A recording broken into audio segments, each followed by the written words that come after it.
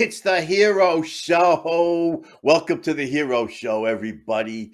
Starring the irrepressible Andrew Bernstein and the unrelenting Robert Begley.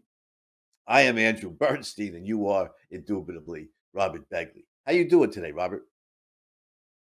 I am doing great, Andy. Happy today to talk about one of my personal favorite heroes.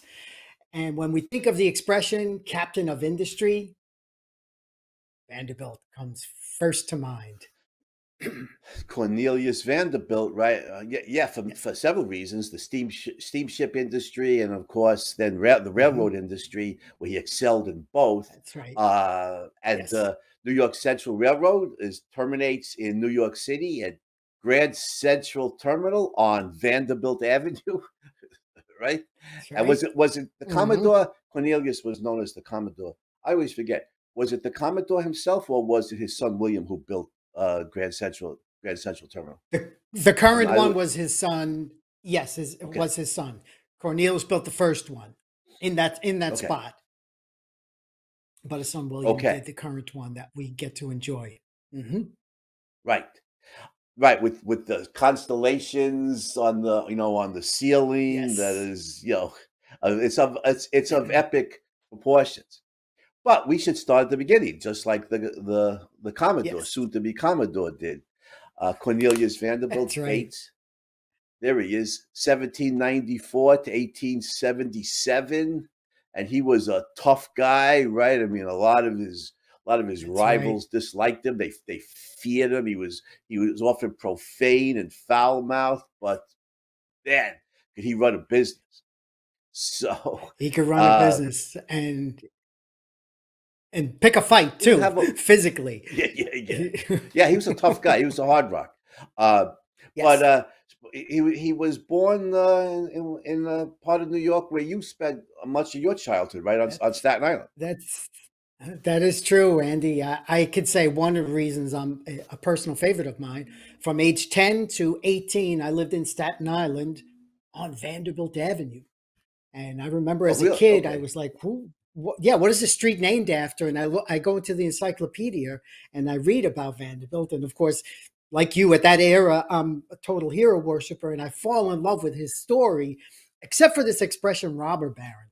I'm thinking, what's yeah, that? Yeah. You know, who did he rob from when he created all of this, all of these products and services uh, that that influenced, especially New York City? Uh, so, uh, yeah, born in Port Richmond to a huge uh, Dutch family. He was like one of, I think, eight uh, children, and they were farmers dating back a couple of centuries. Uh, we know that New York was originally New Amsterdam as far as the Europeans go, and Staten Island had a huge uh, farming community. And yeah, Vanderbilt grew up on a farm, but quickly he started to assert his own he, he loved the water he loved swimming he was he was really strong and his parents wanted him to be a farmer. They wanted him to like continue continue that role, but because he saw ships regularly and he could spot the difference between this kind of ship and another.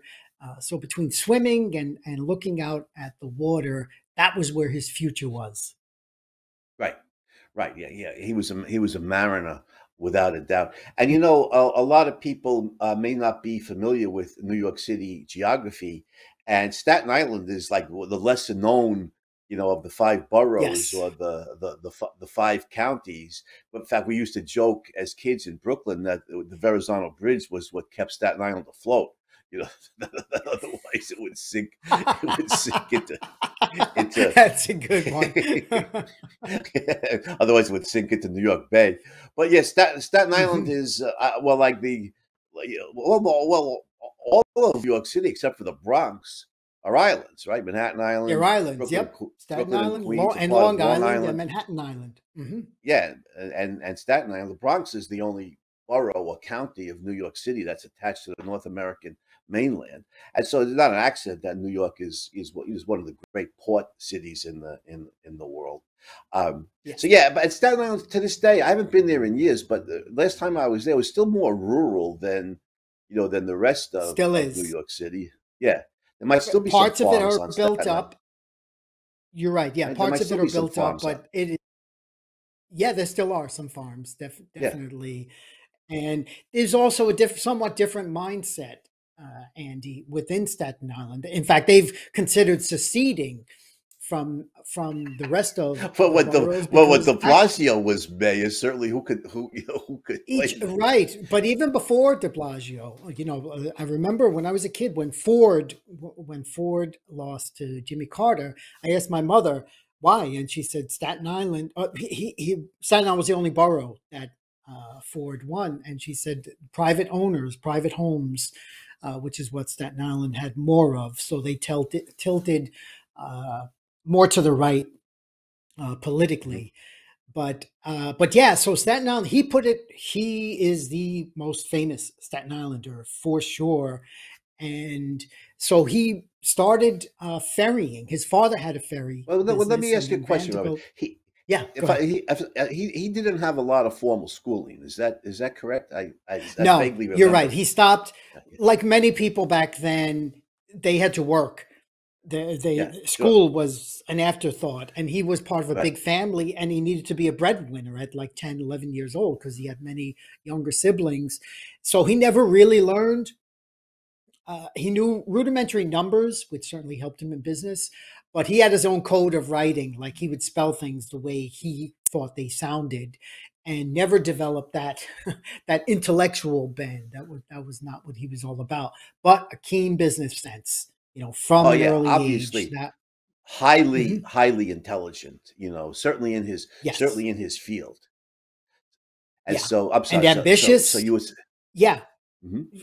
Yeah and ambitious and even so he starts uh, his father has this ferrying business and vanderbilt when he's 10 11 12 he starts to get involved with it and then by the time he's 16 he wants his own business okay? He, he, he's like i, I want uh, to start my own business and he asked to borrow a hundred bucks from his mom and he had a great relationship by the way with his mother. He absolutely loved her. It he had a bit of a competitive relationship with his father which we'll talk about.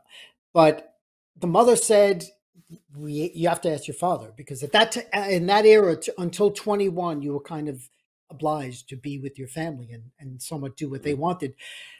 And vanderbilt goes to his father and the father says yeah okay i'll give you a hundred bucks. If you can clear out this new farm area which is all rocks and dirt within a certain period of time i think like one month and vanderbilt gets some friends together kind of like uh, tom sawyer and he offers right, them hey right. I'm gonna buy I'm gonna buy my own ship and you can go to Manhattan, you can do this, you can do that, you can be part of my business if you help me set up this uh, this farm area.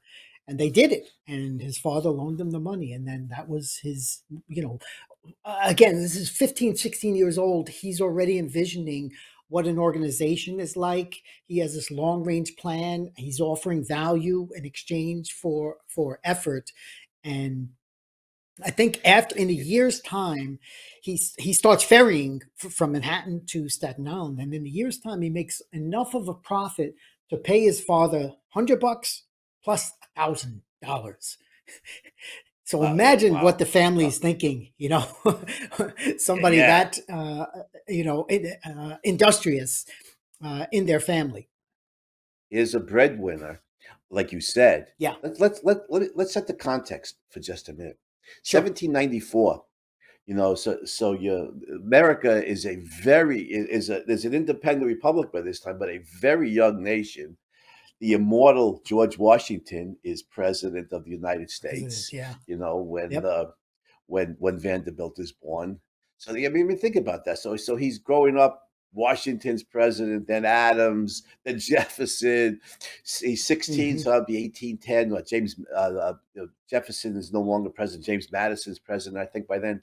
Uh, so he's this is a, this is a real golden age of of uh, you know America's youth and very Yes. uh, independent. You know, it's a pioneer spirit, very independent, and we'll see in, a- in a few minutes. I think Vanderbilt's hatred of monopolies and his Yes. uh, lifetime war against against legal legal you know legal monopolies and and, and monopolists. So this is an hmm era. You know, this is the the great era uh, of of American history, the freest periods. Hopefully, we could you know reconstruct that in the future. But but as of right now, this is the freest Yeah. period in American history. And Vanderbilt, Vanderbilt's of that spirit of an independent He's man, of that. s- and yeah, Yes. Mhm.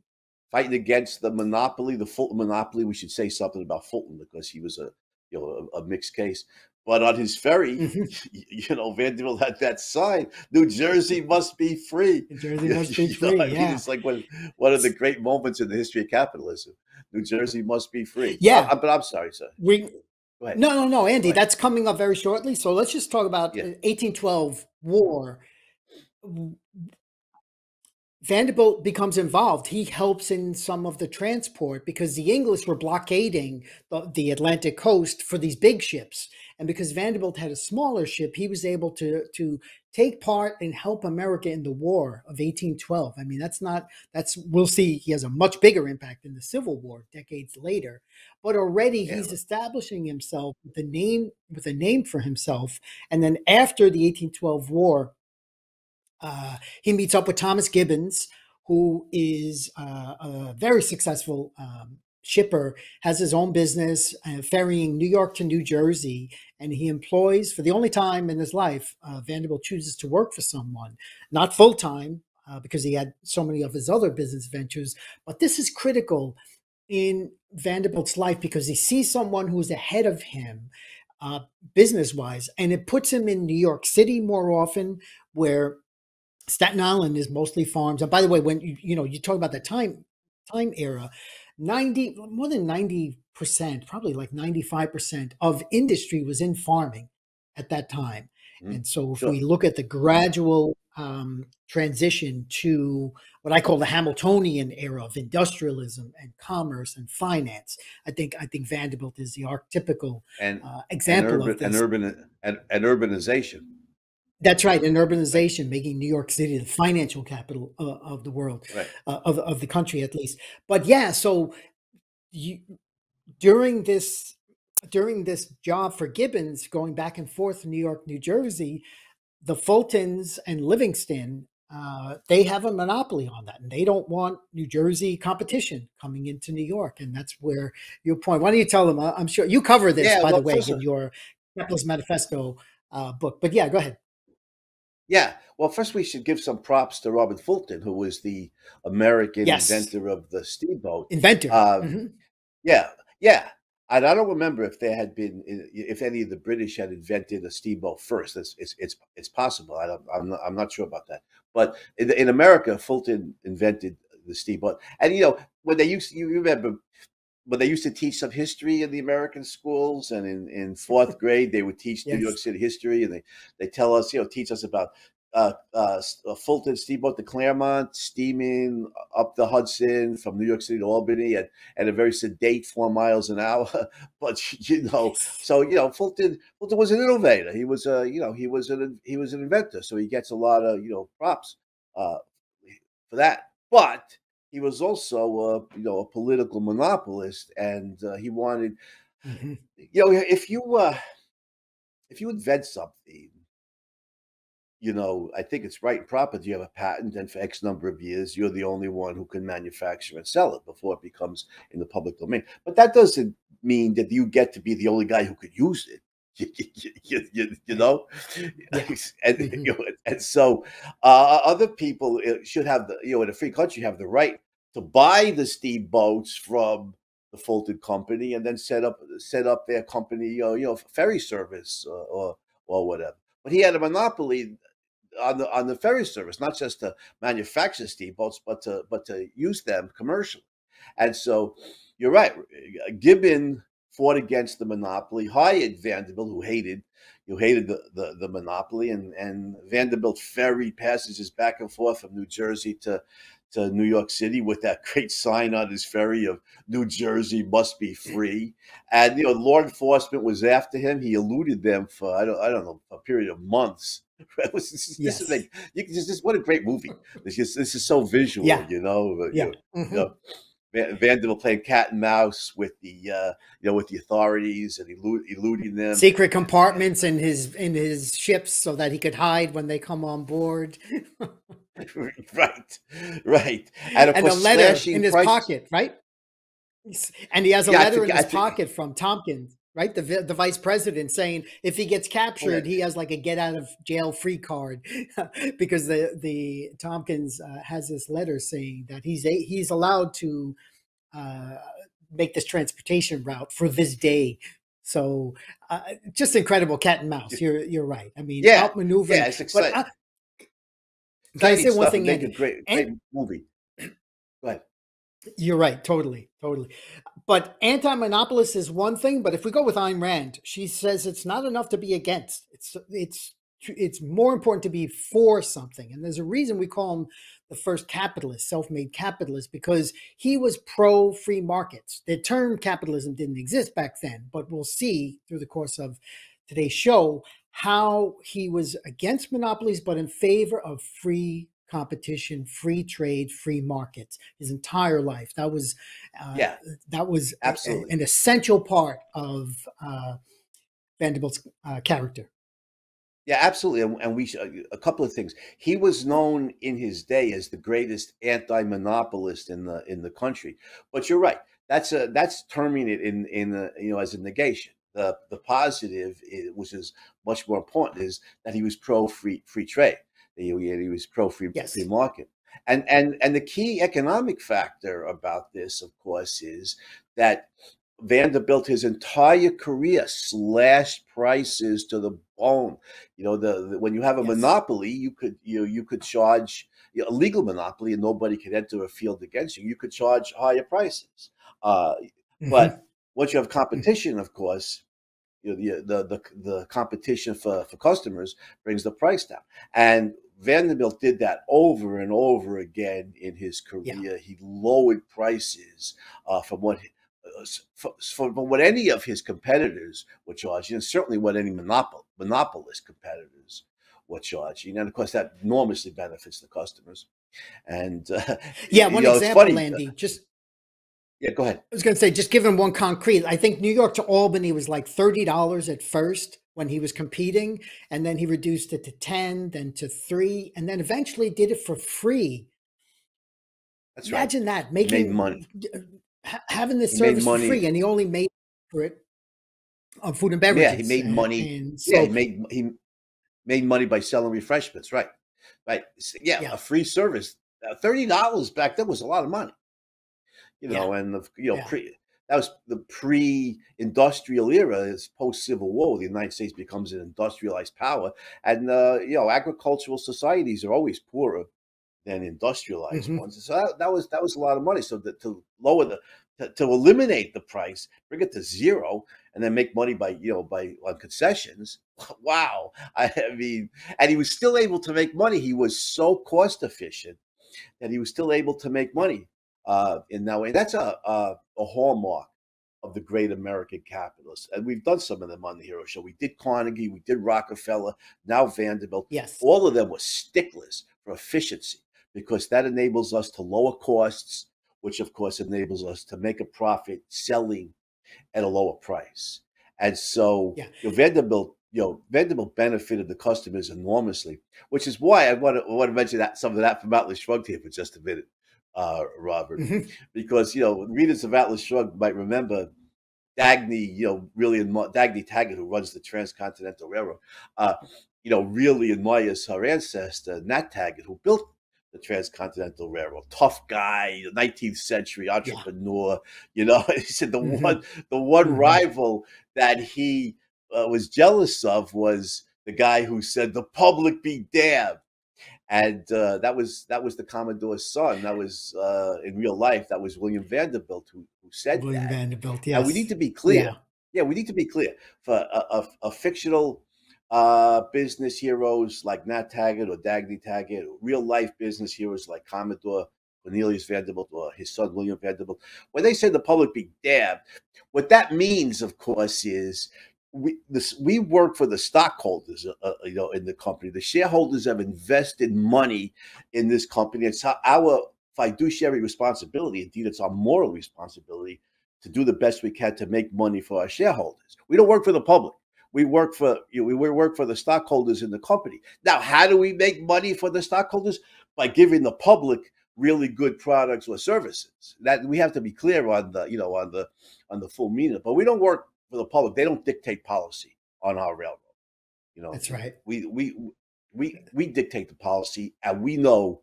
You know, uh, then the customers, then like Hank Rearden says in his trial, the customers get to decide whether they like the product or service or not. If they don't like it, they, you know, then they're not in a free free society, a free market. They're not obligated to patronize our company. They can go elsewhere.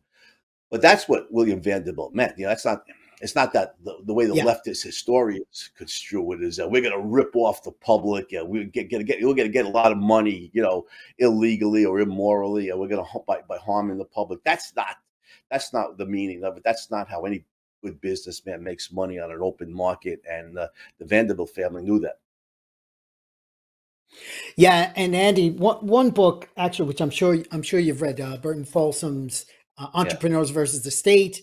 Uh, here he uses the term. I'm not. I'm not a big fan of um, the economic entrepreneur versus political entrepreneur. I, I, I, but this is what Vanderbilt faced. I mean, today it's a crony. He faced these cronies, yeah. which sadly Fulton was, and then uh, Drew was. Throughout his whole life, he had he was at a disadvantage against competitors who had political pull and um, but just going back to the to the time frame so he's working for gibbons and they have this landmark decision um, uh, that daniel webster uh, votes in favor of um, overturning the monopoly the the uh, Fulton well, the Gibbon versus Ogden. Gibbon, Gibbon That's right. Gibbon versus Ogden. Ogden.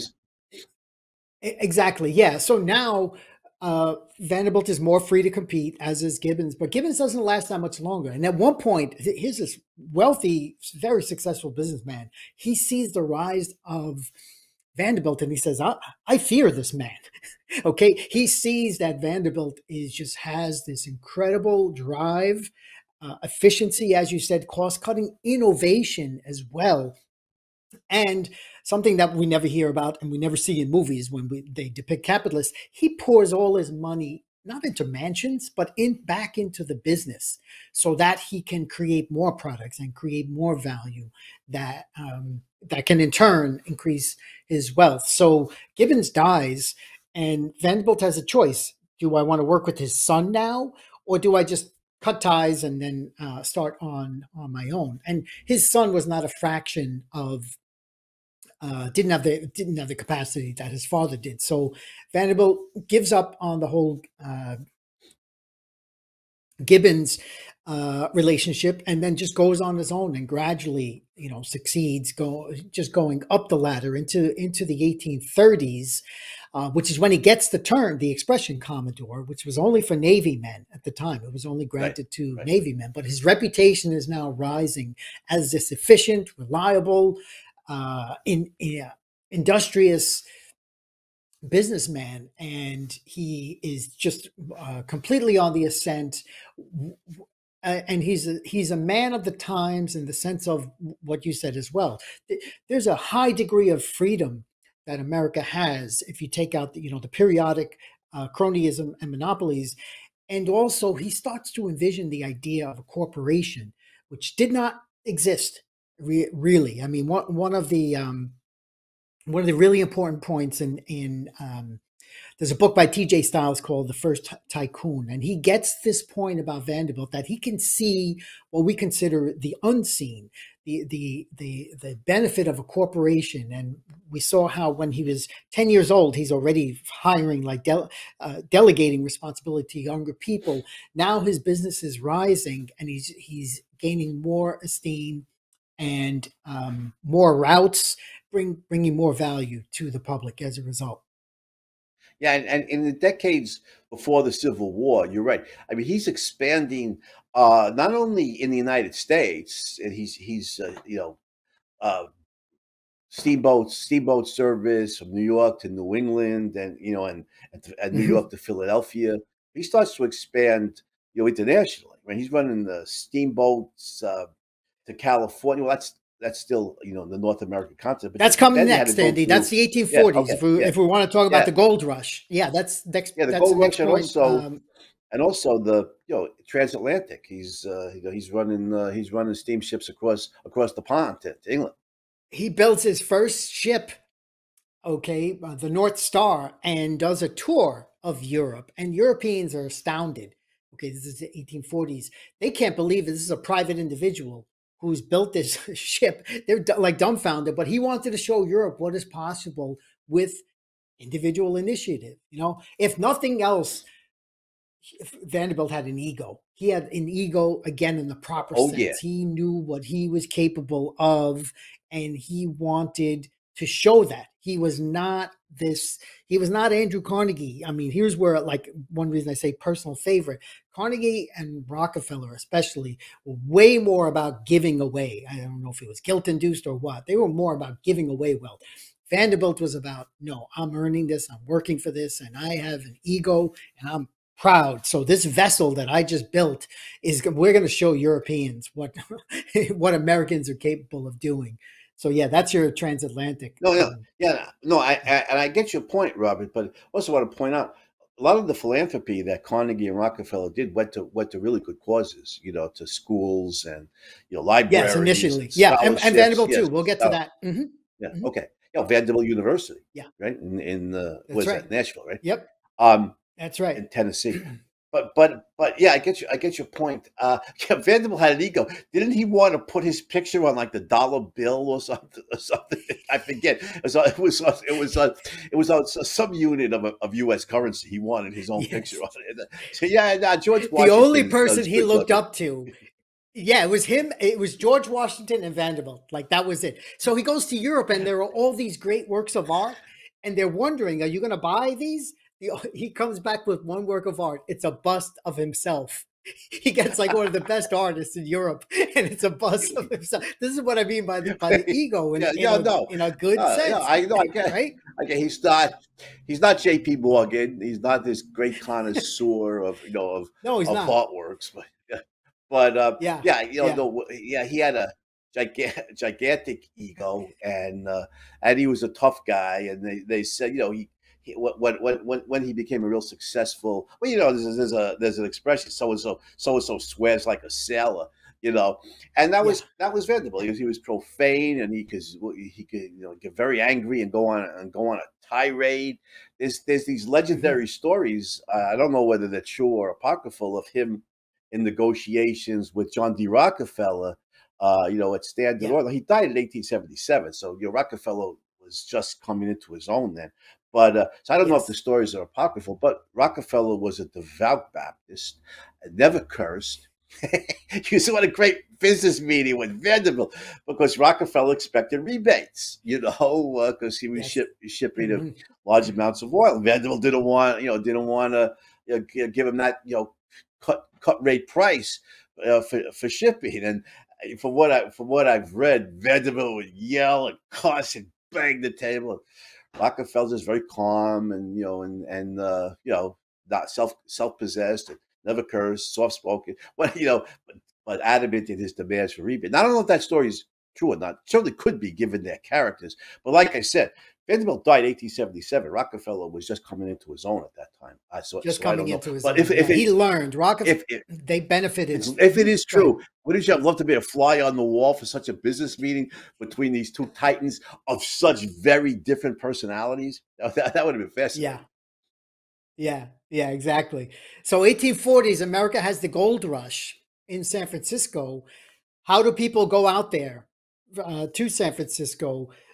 It's really, really risky to go across land through the Rockies, passing the natives. The odds of making it from the center or even the East Coast to California, it's not not very high. So Yeah, Vanderbilt comes up the with this Santa route. Fe, the Santa Fe Trail, Santa Fe Trail, or Yeah, whatever. Yeah, that's right. Yeah, it, it was it was risky given the terrain, the weather, Absolutely. bandits, and of Mhm. course uh, uh, marauding. There's no good locution. American Indians. I don't like the term Native Americans because it's politically Yeah. correct. Mhm. It makes it sound like these tribes were indigenous to the North American continent, which they most certainly were not. We've known for a long time that they they were you know Central Asian or you know Siberian in origin. American Indians inaccurate because they're not from India, but at least got the right continent. It's Asia. but anyway, be that as it may, some of these tribes were hostile and uh, very dangerous. So yeah, you're right, Robert. The the, the transcontinental trek uh, to get to California, be a, to be a 49er in 18 eight, late 1840s yeah. or 1850 was was very dangerous, very dangerous. And there's no. So what does Vanderbilt do? Yet. He he takes his ships and he sees in Nicaragua, which is 500 miles closer than Panama he's he does this trip himself and he passes alligators and the jungle. I mean here's where the guy practiced what he preached you know like he's like well let me go down there and see what it's like before i build my line. And so he takes his ship down to nicaragua and then between a couple of lakes from the atlantic to the pacific they they uh, create some canals and short railroads that bridge the two. And vanderbilt establishes a service to have uh, people transport from, uh, I think, in 25 days, uh, they would go from, say, New York to San Francisco. Uh, ridiculously safe by comparison. And by the way, we, we didn't even talk about the risk uh, that he endured, as, as, even as in his younger days, of steamboat explosions, of you know this this was not a given there, there was a lot of yeah. risk and and even in innovations come along with risk. And Vanderbilt almost died. I think it was like 1833. He had like a punctured uh, lung in, in some kind some kind of accident, and his doctor saved his life, and he became his only doctor the rest of his life. And he realized that you know if I died at this age, I would not really have left a mark on myself. So safety was a me another. You know, we talk about cutting costs, Andy, and and efficiency, but safety was also another aspect for Vanderbilt to take care of. So he, he establishes this route through Nicaragua to San Francisco. And in the process, where does that gold from California go? To uh, back to New York banks, which is an essential part of New York becoming the financial capital of America. So he's transporting people one way to San Francisco and then gold the other way to New York just incredibly uh, beneficial to the country. Right, right, and uh, this is this was decades before the Panama Canal, right? Which is Panama early, Canal, yeah, early, absolutely, early, mm-hmm. yeah, early twentieth century. So they had a yeah. they had a uh, what use railroad to use railroad to get across uh, parts of Nicaragua to get to the to the Pacific. Yes you know, or, or coming from and deal with the unstable the, government. You know, there is always there was always corruption that that uh, you know in the in those Latin American countries. I mean, that sadly has has not really gone away. But no, Vanderbilt found ways to make it profitable, to make it profitable for people to pay, you know, out of their own pocket for this incredible risk. And so the gold rush, he gets he gets incredible credit for making that what it you know what it amounted to. Yeah, speaking of you know uh, political instability, there was this uh, great, uh, it's an amazing story. This American adventurer named William Walker, who uh, overthrows yes. the Nicaraguan regime and sets himself up as you know the as the dictator in, in there, and he eventually get gets overthrown, has to be smuggled out of the country by the by a uh, United States Navy officer.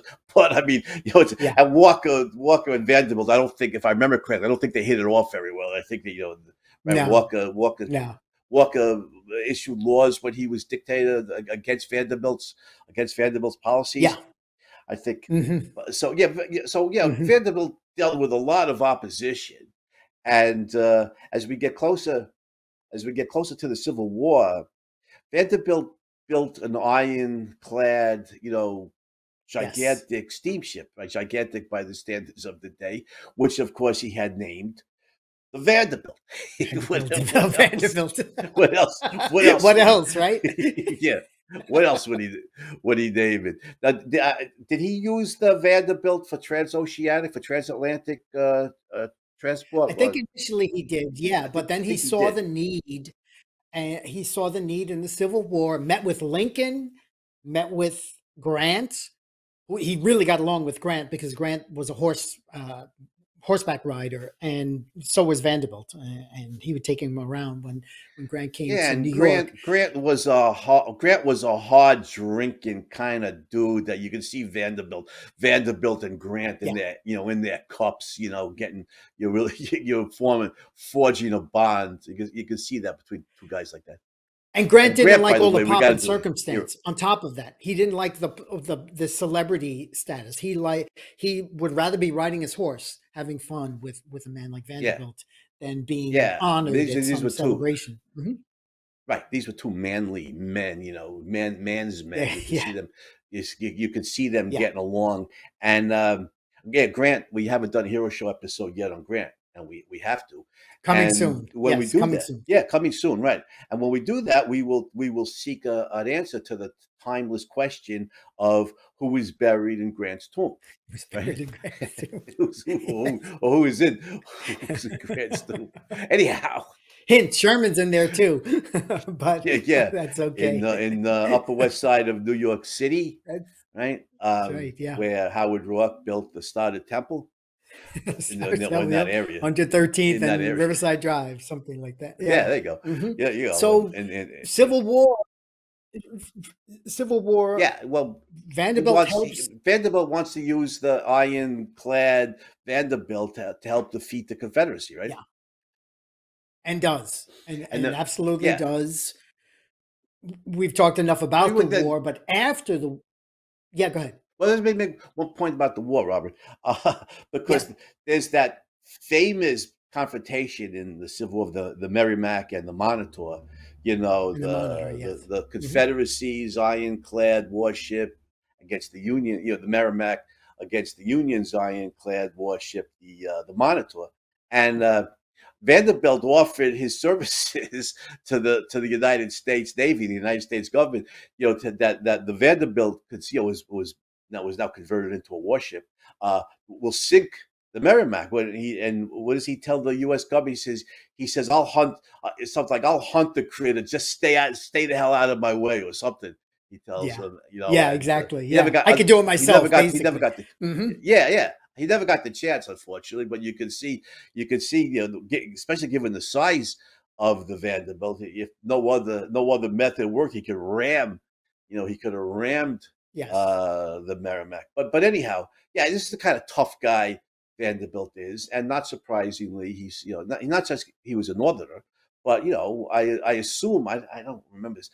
Uh, that Vanderbilt was probably an abolitionist, uh, probably was opposed to slavery because he was. Well, I, actually I don't not- I don't remember for sure. I don't remember. right sure. i don't know specifically that but he did have there were two there were two things um, first of all gibbons was a southerner came up from the south and had a lot of his racist uh, aspects i- i- in his personality which which vanderbilt did not agree with. He certainly did not agree with. He did um, his second wife we didn't talk his mar- uh, uh, about his marriage and his- his offspring but his second wife was from the south. And uh, the important thing to me is that after the Civil War, after the North won, there was. It's not like everyone shaked hands and now now we're all, you know, kumbaya. No, there was still hostility no. between the two, and there was, I think, a minister in Nashville who uh, who Vanderbilt liked, and he wanted to give money. He he. This was like an act of philanthropy, but not for a church not for any kind of religious uh, or, um, uh, institution. So the minister said, "Okay, we'll build this university," and it had a it had a generic name, but eventually, yeah, they did call it Vanderbilt University. And Elliot, if you could put up the there's one uh, the the statue. When I went to Nashville, I've been there a couple of times, but I was like. Yeah, I want to. I want to get. I want to get a, a picture of this, so you could actually even see it from the street, right, as the entrance into this beautiful campus. I think they're the volunteers, right? Is uh, uh, no the Commodores? Actually, yeah, the Commodores is the, Yeah, uh, yeah, the- yeah, named the- after Their sports teams are the Commodores. Yeah, the Volunteers are the, the Commodores. Yeah. I'm- right. Confusing the C team, Right. but uh, but yeah. So here's the statue, and this is Vanderbilt's act of generosity, healing. So we always think of this hard, you know, brass knuckles kind of guy, but he had humanity in him as well. And he loved America and wanted America to be united. And here was one of the actions that he took uh, to that end was to yeah well that shows uh, yeah donate that for, shows you know a good deal of a lot of goodwill but i'm surprised he didn't insist that the university be named vanderbilt university you know as a as a precondition right. you know given the you know given the money you know, and, the, and that the sports teams, yeah, the mascots good... and the sports teams have to be the Commodores. You know, but anyway, right. yeah, I take back what I said about Vanderbilt being an abolitionist. Maybe he was, maybe he wasn't. I'm, I'm I don't, I don't know. But uh, given yeah, he his, was more about business. An- you know, he was certainly more about business. I don't, I don't think he, I don't, I don't know much evidence either way, Andy. I've read a lot about. Yeah, I know. I, I just know yeah, I'm extra. I'm extrapolating here, given his free market, free society, yeah. individualistic principles. It would well, what would be most consistent with that is, you know, well, if you know black Americans could could do could do the work, I, am going to hire them. You know, they if they some guy black yeah. guy wants to start a business and he's very efficient at what he does, you know, I'm going to purchase his product, you know, and and so on and so forth. I, uh, it's mm-hmm. but anyway, people aren't mm-hmm. always people are not always consistent. That you know that anti-racist, anti-slavery mentality is most consistent with his individualism, but people aren't always consistent. So I so I take that back. Anyhow, yeah. I don't know. I, I, don't know. But uh, so after the Civil War, of course, this is the great era of railroading. You know, right. well, actually, mm-hmm. uh, you know, uh, so, some of the, the, the transcontinental lines are not, you know, initially not so great. Right? They're right. They're built with government subsidies and the government, yeah, Crédit Mobilier. Mm-hmm. Yeah. Yeah. Yeah. Mm-hmm. Yeah. And, and, you know, and the transcontinental lines, the Union Pacific, you know, for, for example, they got money for miles of track laid. So it didn't it didn't matter to them if they yeah. were building efficiently, you know, if they were avoiding, you, you know, uh, steep steep grades and you know heavy you know heavy heavy curvature uh, you know mm-hmm. there's just just mm-hmm. miles miles of track laid they got they got money and and the, those railroads were a wreck when it, you know we did we did Edward H. Harriman on the Hero Show when he took over the yeah. when, he, when he purchased the Union Pacific in the 1890s. It was it was what, yeah. what did they call it? A rusted streak of iron. He's the one who turned it into a great railroad to rival James J. Hill's yes. Great Northern. But on on the East Coast or, or further east, Vanderbilt was building private. Right? Vanderbilt wasn't building with government subsidies, and the New York Central Railroad became, you know, and, and of course, Grand Central Terminal in New York City uh, became a very, very productive railroad, didn't it? Yeah, absolutely. And if we talk about the the arc of Ellie, you can go to, to the New York, uh, the other statue in, in front of Grand Central. So the arc of the railroad industry, you could say Vanderbilt was a little bit late to the game, but because he didn't think it could pay for itself. So between the government subsidies and the fact that it couldn't really justify uh, there were a lot of bankruptcies, a lot of bad lines, and and he first started taking over, buying up these ones that were not profitable, and he figured a way to make them profitable. But like you said, New York Central, the, the Harlem line, and yeah, he mm-hmm. he puts them all into one spot, uh, cuts up New, New York's Fourth Avenue, which would be renamed Park Avenue, and builds this terminal, this one terminus where all of these trains would come in, now branches to all the other parts of the Midwest and up north and the South. Again, he's uniting the country with you know the way Ayn Rand describes it in in Atlas Shrugged, like the, these arteries, how the railroads connect all these different industries, and and they serve as these lifeblood for for from from earlier in, in, the century with the textiles in New England. So he's helping different industries. We mentioned Rockefeller with with uh, oil and Carnegie with steel. Vanderbilt is the central point here. Uh, railroads at age 70 the guy was already the richest man in the country he no one ever knew right. how much he, right. he made but 70 years old you're way past life expectancy uh, uh, uh at that age. Yep. And he gives it yep. all up. He gives up all shipping. Uh, Ayn Rand, the money making personality, one of my favorite essays of hers, she mentions this about Vanderbilt that he had a long range vision, even at age 70, that he saw the future and invested in it. You know, uh, again, if we talk about today's name of Vanderbilt is with mansions, and we mentioned his son William and his offspring, but not Cornelius himself. I mean, he had he had a respectable place in in New York, but he was never ostentatious the way that some the you know some of the other um, competitors became. So yeah, that's yeah certainly yeah. a crowning achievement here.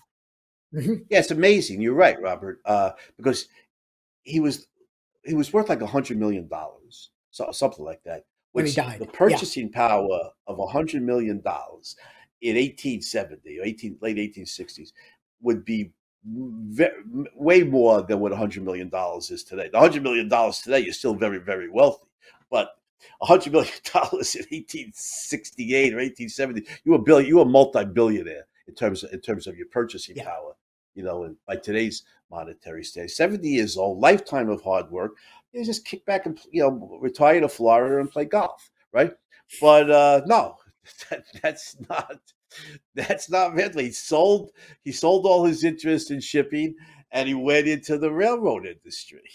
and yeah. uh, and he built it up. You know, he built it up brilliantly on the on the East Coast. And um that was he, he purchased was it the Harlem line that had entrance yes. that, that had entree into New York City? So that was yeah. that was that was critical. That was critical. Built yeah. built Grand Central Terminal, like you said, and it then extended westward to Chicago and other industrial yep. centers um, mm-hmm. to provide to make money uh, by providing very efficient shipping. And this let us mm-hmm. you know point out to the, the audience, post Civil War, post 1865, this is the American Industrial Revolution. And this, this is the era in which the United States becomes the leading industrial center of, of, of yes. the world. Great Britain, you know, to its everlasting credit, was the birthplace of the Industrial Revolution and it was the workshop of the world. I think they, they called Britain. Well, the United States now, you know, in the late uh, 19th century, turn of the 20th century, becomes the workshop of the world. And uh, Van, you know, transportation is is motive power. You know, uh, like yes. in, in, Atlas Shrugged. Well, Vanderbilt provides the motive power, at least you know on the on the east in the northeast, the the motive power for these great industrialists yep. to ship their goods to ship their goods to market, and yeah. you know you know agriculture will not make a country rich, but it will make a country well fed.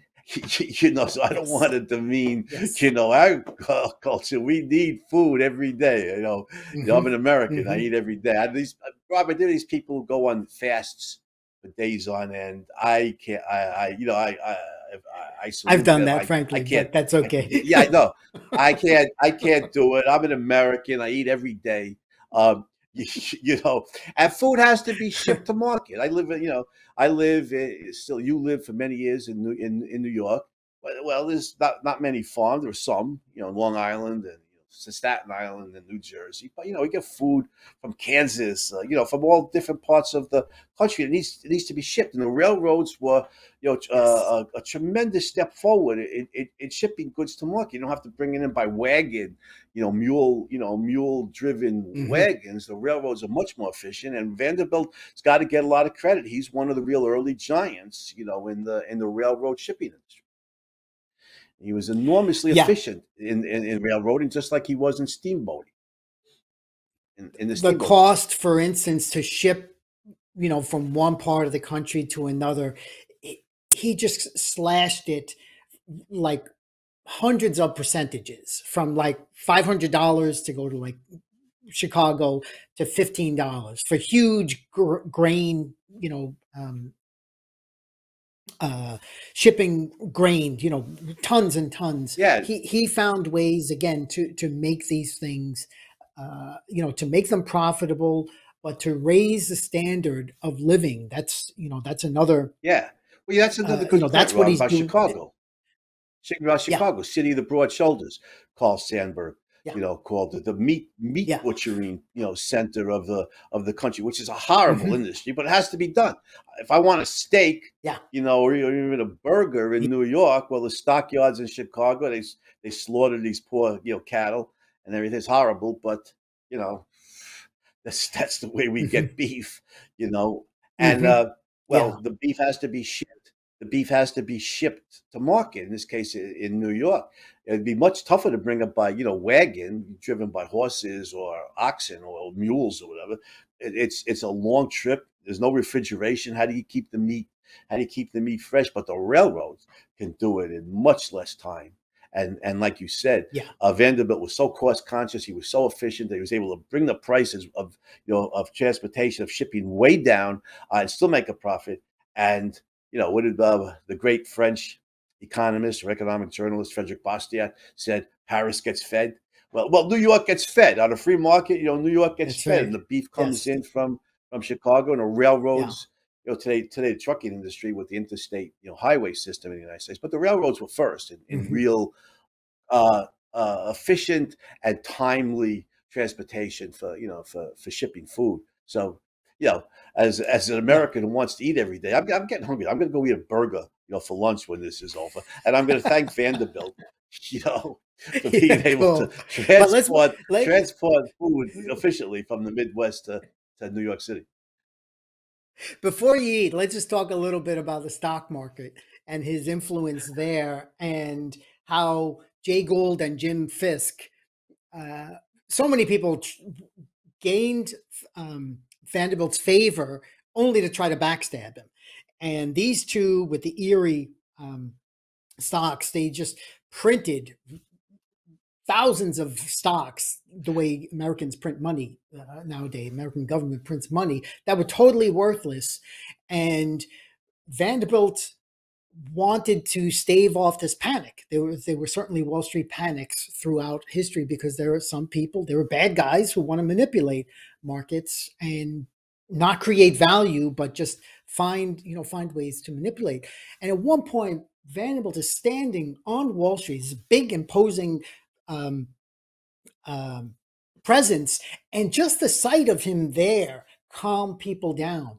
Aver- he averted single-handedly averted a panic. And you know, when we talk about Morgan, how important, how influential J.P. Morgan was a, a generation later, and, and, you mentioned Rockefeller and Carnegie, they were all young when. This is why we call him the first self-made capitalist right, right. because he he right. is the one they all look up to because his view of corporation and and the unseen the, the importance of wall street and finance and investing. So vanderbilt even saw that. He saw the value of uh, stock investing and railroad stocks were the biggest thing you know they, when when he was um, when he was flourishing that was that was the biggest uh, industry. And of course as as you just said, he came in, connected all of these things, made efficiency, reduced costs, uh, made things efficient. And this, you know, if we go back to Atlas Shrugged, the, the to me, Grand Central Terminal is the Taggart Terminal, and the Nat Taggart Nat Taggart statue is this Cornelius Vanderbilt statue, which stands right outside on 42nd Street in what is Park Avenue. If you if you're in the city, you could look up from the street level and see this uh, the statue here. I'm sorry, the image is not that clear, but uh, certainly worth your while if if. Well, yeah, you're right. the parallels to enjoy the statue. The parallels between between the Taggart terminal in New York City, the fictional terminal, and the and Grand Central terminal in, in real life, uh, and the parallels between Vanderbilt and Nat Taggart is certainly they're cer- certainly very strong. And Ayn Rand was was certainly aware of it. And the only thing I'm surprised about yeah. is that Vanderbilt didn't have statues of himself placed in every corner of the you know of the of the terminal. So everywhere you look, ah, there's there's Cornelia. Ah, there's another one uh, uh, uh, you know, of, of Vanderbilt. you know, and, and, and, by the way, the terminal should be named Vanderbilt Terminal, right? I mean, come on, Vanderbilt, come on, yes, come on, Commodore, you guys. I think so. Right? Yeah. I think so. but I think you know. We, so we, yeah, we, I mean, what what a legacy. You know, if yeah. if we think, okay, the arc of his life, Andy, George Washington's president when he's born, U.S. Grant is the president when he dies. And in fact, Rutherford B. Hayes was already like the president elect by the time Vanderbilt dies. Morgan, Rockefeller, Vanderbilt are younger, they're on the ascent, but his estimation was one out of every between 10 and 15 dollars in circulation that's how much Vanderbilt owned, you know, his wealth was worth if he cashed out all of his stocks like the day that he died. And nobody today can be anywhere near that amount. Like so here's just the scope of his his import. And again, the uh, I, want to give a little plug from from my friend Richard Salsman, his book "Where Have All the Capitalists Gone."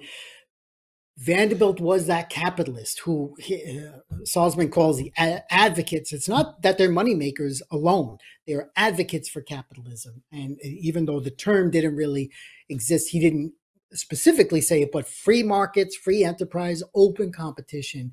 Vanderbilt's whole life that was one of the things he was all about, and the egoistic element that goes with that, and the individualist element that goes with that. All of these together comprise this giant in in, yeah. in industry. Yeah, the, well, absolutely right. The New Jersey must be free flag summarizes that's yes. that is individualism and, and individual rights. We get to choose, you know, you know, Fulton invented the steamboat. We we we salute him and give him his propers. Yes, he, he gets a patent on that. Doesn't mean he, doesn't mean it's morally right for him, like we said before.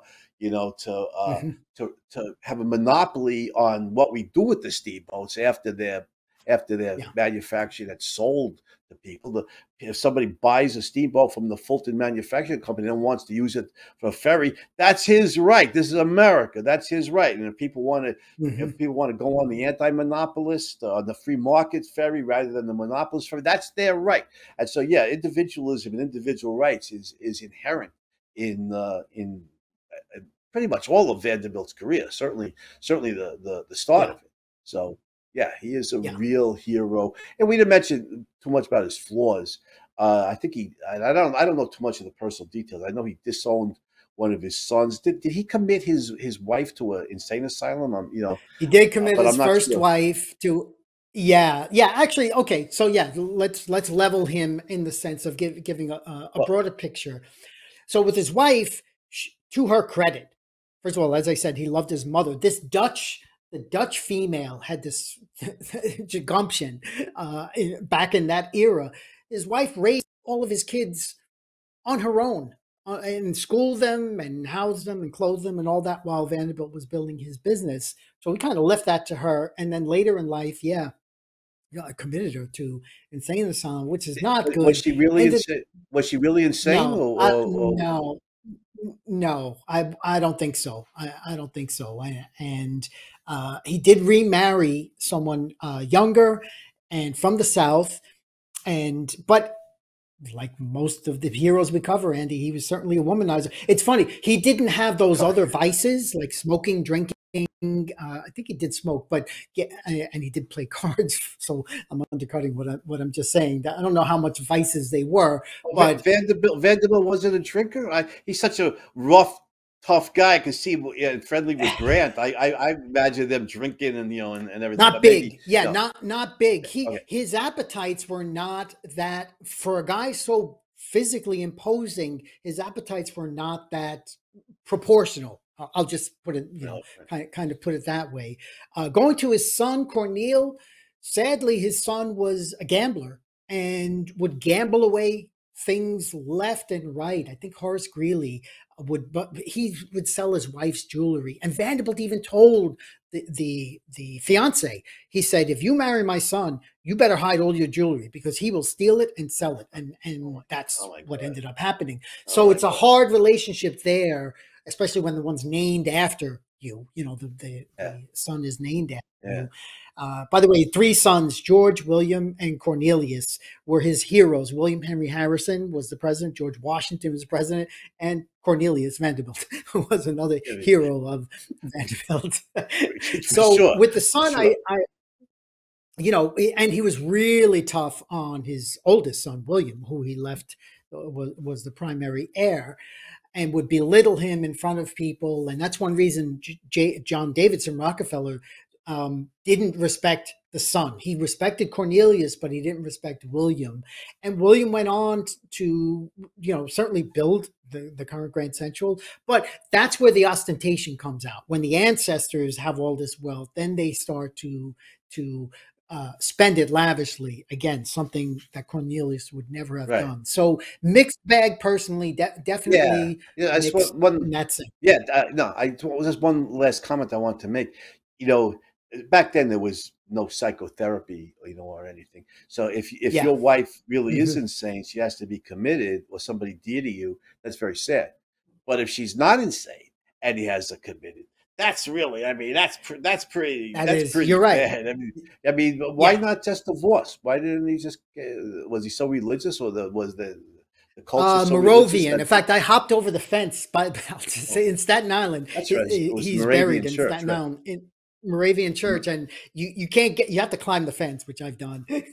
to kind of get closer to the uh, to to the to the cemetery uh, there, and yeah. So although he wasn't like devout in his religious beliefs, there were there was a lot of um, I'll just say that part of him clearly was was not his, his strongest point, and and certainly treatment of his wife, he should have done better. Mhm. Yeah, for sure. I mean, that's horrible if she's Yeah. sane and he has a has a committed to an insane Yeah. asylum because he wants to be rid of her. That's that's really low. I mean, but uh, okay, okay. Mhm. So we so you get two thumbs down for that, Commodore. Two thumbs Well, down on that. gonna- We're, going to take down some of your statues because of that. You know, not all of them, but but no, that's that's that's really bad. But people are often mixed, you know, and uh, they could they could they they could be mixtures of really good and and really bad. Uh, so Yeah, uh, this is the power. hey, This shows the power of an integrating philosophy, Andy. Right, Wh- where where you know moral integrity and and acting on you know you make a choice to be with someone and you should be faithful. I mean, it's just that simple. The- the- there's no there's no gray area there. And like many other heroes, I mean, he wasn't the first one to do this. Uh, as much as of, of a flaw that we admit it to be, it's just you know it's Yeah, it's, it's- not who he was, but that's not what he- yeah, it's uh, it- it's know, look at the grand scheme of Uh, things. Yeah, Yeah. he was a great man, but this is unconscionable. Um, and given how individualistic he was, if the Moravian Church did not countenance divorce, uh, you know, he could he could still he said, "Look, I'm gonna, you know, you, you don't have to like it, and maybe you'll excommunicate me Yeah. if the Moravian Church does that." Uh, but Mhm. uh, the relationship's intolerable, and uh, I'm I'm gonna I'm gonna divorce her. She won't be penniless. I'll make sure you know she has money because she's been my wife and the mother of my children uh, of our children for all these years. I'll make sure she has a Mhm. very generous stipend. But I can't live with her anymore. It's intolerable. You know, that's what a real individualistic guy would do. Commit her to insane stuff. I agree. yeah, that's that's horrible. I, yeah, You know, I agree. So, uh, no, Yeah. no dispute there, Andy. Uh, absolutely not. But again, you know, one of the things, if if we just go back to Ayn Rand, uh, because she mentions Vanderbilt over and over in Capitalism, the Unknown Ideals. She talks about Yeah. how he, you know, just his name is brandished, and uh, and she calls our era, or you know, late late twentieth century, the end, the age of envy.